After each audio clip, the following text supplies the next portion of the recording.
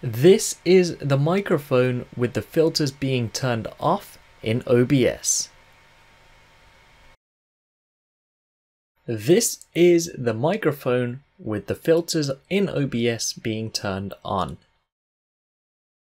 What's going on guys, Casual Savage here and in this video I'm going to be showing you how to improve your microphone quality in OBS. Now to do this there's just going to be three filters we're going to be adding on to the microphone compressor, noise gate, and noise suppression.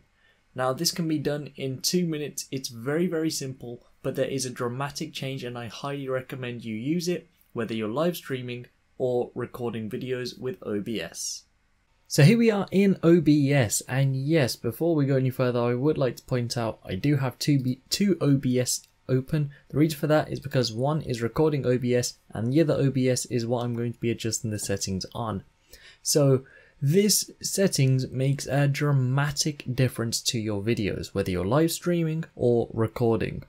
So at the moment, uh, what you're seeing from this OBS on screen is the raw audio. So I'm just going to take a moment to sit in silence and you're going to be looking at the gain volume of the microphone and how much background noise gets picked up. So just remember this now and then watch it later on. Okay, that's fine. Now, when you just listen to that, you wouldn't hear the background noise. And the reason for that is simply because the audio has already been edited. However, the video you saw at the start, that is the raw audio. So the first thing you want to be doing is coming, making sure you on your microphone and you want to turn down the gain. You'll notice my gain is already at minus 7.2. And for me, it's actually turned out to be a very sweet spot in order to get very crisp, clear audio. Now, for you, of course, it does depend on your environment, and it also depends on the microphone you're using, how well it's going to pick up your audio or not. But anyway, once you have adjusted the gain, what you want to do is come up here to the uh, toggle the settings on the microphone and then head over to filters. From here, we're going to be adding on three filters. We're going to be adding on compressor, we're going to be adding on the noise gate, and we're also going to be adding on noise suppression. So just add all of them on. The first thing we're going to be changing is the compressor, and this is where we will be making most of the changes. For the ratio, we're going to set it to 2. For the threshold, I'm going to set it to minus 10. For the attack, I'm going to set it to 20, and for the release, I'm going to set it to 1.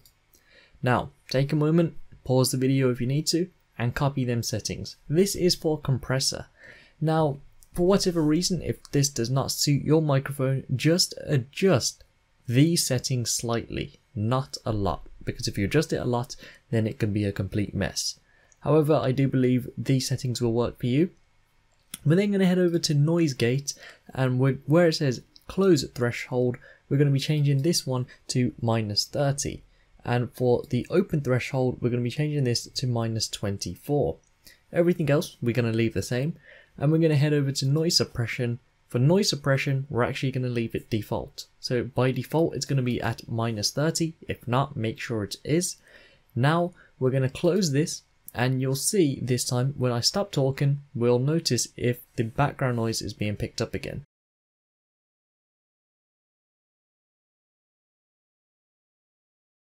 As you can see, incredible results it went completely blank, which means no background noise is being picked up, and the microphone audio quality sounds a lot better. It's actually a very dramatic difference using these three settings which are very simple to set up and very quick to do as well. So if you do want to hear the audio comparison, I did show it at the start of the video, however I will also be playing it now to end this video.